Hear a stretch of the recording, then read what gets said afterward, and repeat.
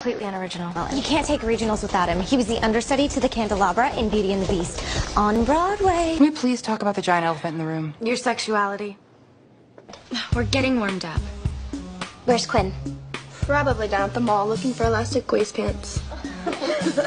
Brittany, you're supposed to be in your wheelchair. You're joking, right? I mean, bake sales are kind of bougie. Don't play stupid, Tubbers. Oh, and for the record, asking someone to babysit with you is super 90s. I happen to know that Puck cares about me. Oh, wake up. While you two were babysitting, Puck and I were sexting. Check his cell phone. Because my sexts are too hard to erase. Okay, look.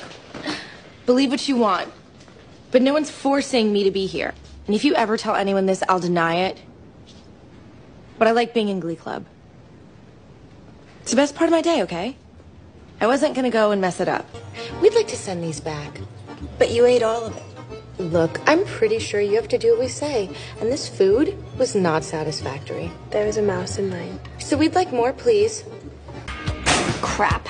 I need a younger, inferior man. If I don't find one, Coach Sylvester will kick me off the Cheerios for sure. Ugh. Look, Finn, it's high time you've lost the big V.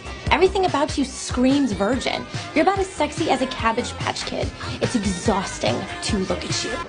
To see Sylvester Masterclass. Ugh, what difference does it make? Everyone knows that my job here is to look hot. Actually, I don't know if it's the missing mohawk or the whining, but I am totally not turned on by you right now. Is that my room? I hated everyone in this club.